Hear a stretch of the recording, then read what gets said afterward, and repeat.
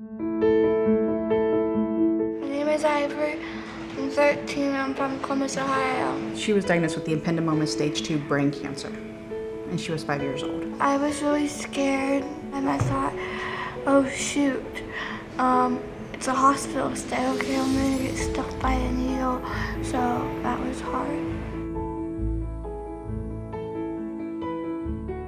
You're admitting that your kid has a chronic illness or has knocked on death's door. But a kid again exists to give you hope. You can go out and do all these fun things with a kid again because you're actually not having to worry about your disease and you're happy about it. When you're a medical family like we are, you don't get experience very often. Our, our time consists of this doctor's appointment, that doctor's appointment, run here, run there.